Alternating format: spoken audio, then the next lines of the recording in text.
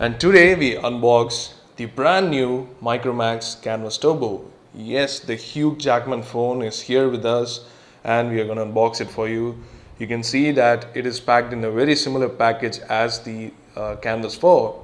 So a very Apple-esque package uh, with plastic, uh, translucent plastic on the front just showing off the phone and uh, sides showing off the branding and back showing off the specs. So we are going to unbox it but before that let's just get a tour of the box here.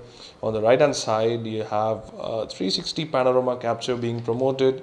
Here you have a bunch of information and you also have the object eraser and cinemagraph uh, promoted. And at the bottom you have the camera z. That's the camera app on the canvas turbo being promoted here.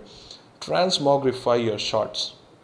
Snazzy name but i bet most of the people won't understand it. Transmogrify uh, means enhancing, which makes the photos look fantastic. That's the actual meaning of that word.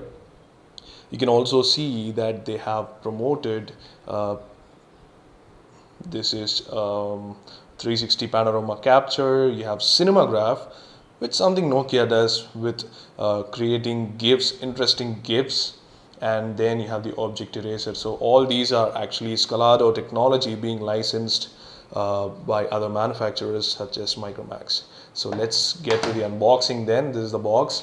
Um, so opening it up, you have the phone itself. The phone also has a plastic layer on the top that promotes uh, various features of it. 5 inch full HD screen. You have a quad core processor here, 1.5 gigahertz MediaTek 65890 Turbo, you have Android Jelly Bean and a 13 megapixel camera on the back. So taking off the cover, you can see that this is a very similar build uh, to the uh, Micromax Canvas Doodle 2, which we like a lot. So aluminum build, full aluminum phone, and the, on the front you have the glass. So we'll take a look at the phone later.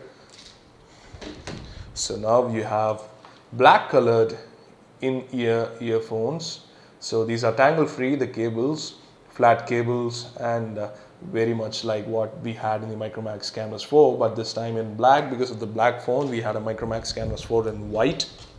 And then again you have flat cable micro USB uh, so this is really thoughtful of Micromax. Uh, we haven't seen flat uh, cables in other manufacturer phones. So good that they have adopted. This is also really high quality like we've seen with the Canvas 4 and then you have extra earbuds here and the travel charger. That's the USB travel charger. Nothing special there. And you also have a Micromax branded SIM ejector tool. So the SIM is uh, uh, inside a slot. So that's uh, going to be ejected using this tool. We'll take a look at that later.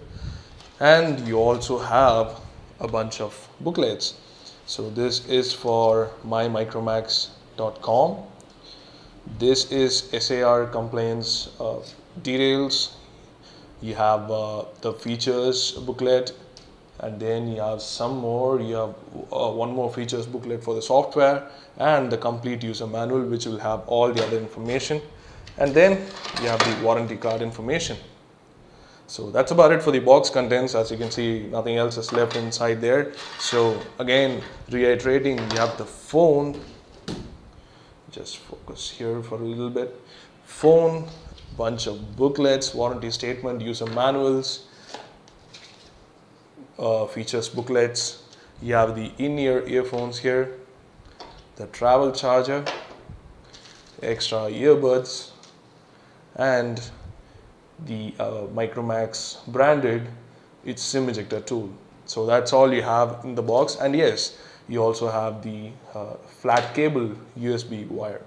So that's all the box contents of the Micromax Canvas Turbo. So let's take a look at the phone now.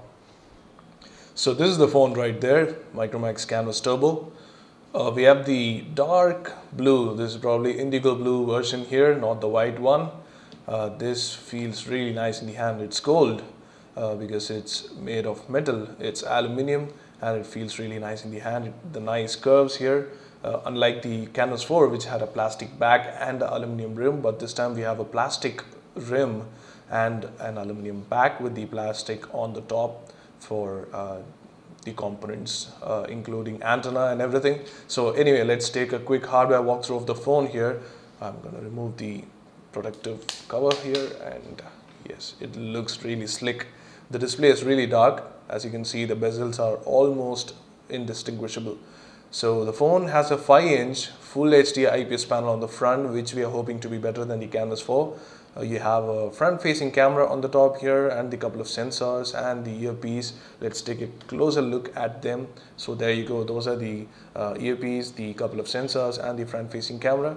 You also have the uh, capacitive shortcut buttons here faintly visible without the backlight. Home back uh, home back and contextual menu. It's really hard to distinguish but we'll take a look at them when we power on the phone. On the sides you're on the left hand side uh, you have two SIM card slots here, no micro SD card slot, but the phone comes with 16 gigabytes of internal storage like the Canvas 4. It's probably uh, to thin down the phone to 8.66 millimeters. So two uh, micro SIM card slots. The battery is also non-removable, so you don't get to replace uh, the battery much like the Canvas Doodle 2. Two SIM card slots, dual SIM phone, both uh, we are guessing micro SIM, but we'll take a look at the slots later.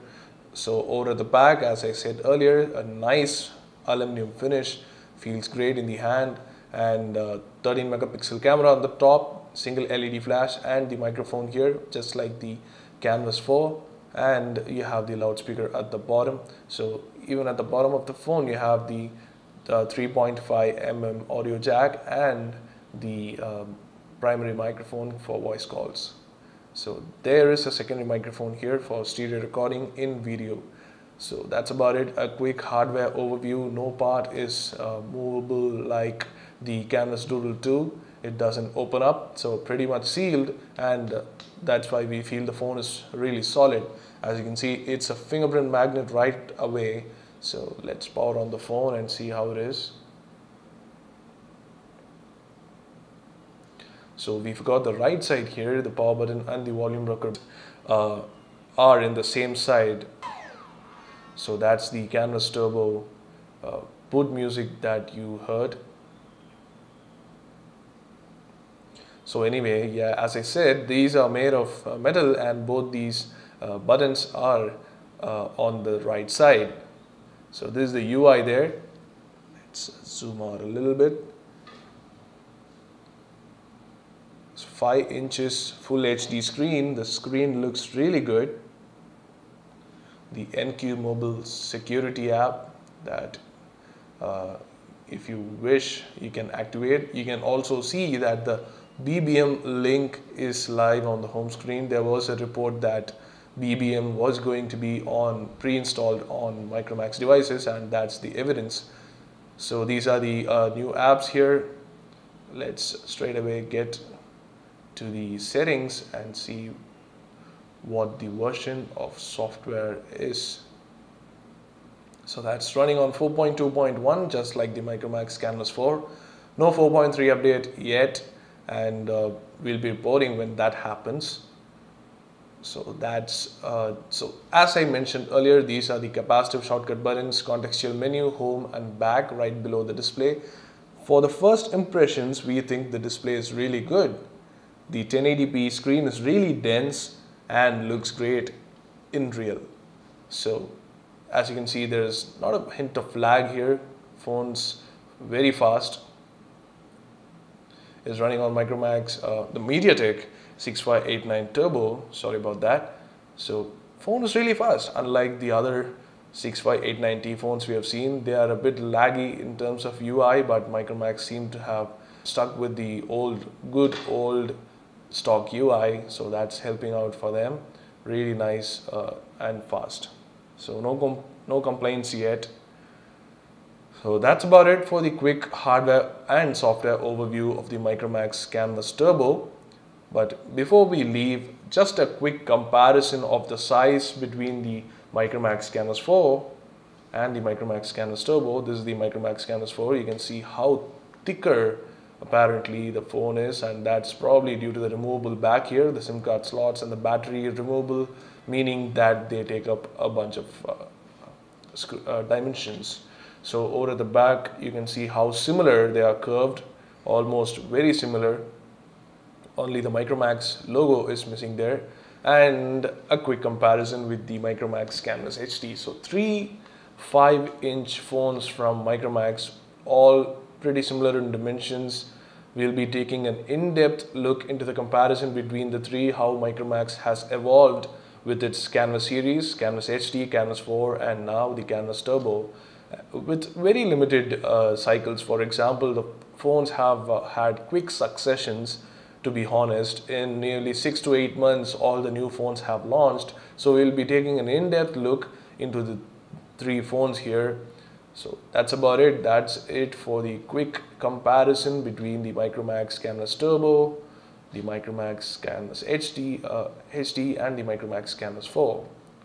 So that's about it for the unboxing and the overview. We'll be taking an in-depth look into the phone itself in terms of benchmarks and gaming reviews and more.